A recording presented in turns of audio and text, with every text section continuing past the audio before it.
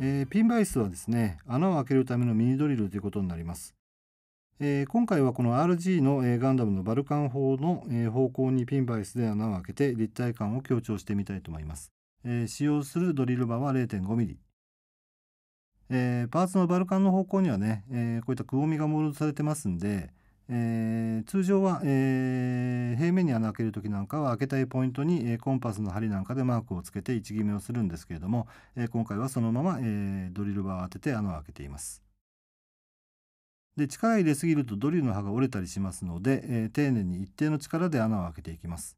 え、それから途中で時々プラスチックのくずが出てきたりしますので、え、そのまま続けると穴の周辺とかですねドリルバーに負荷をかけたりしますので、え、時々払いながら作業をしてもらうといいです。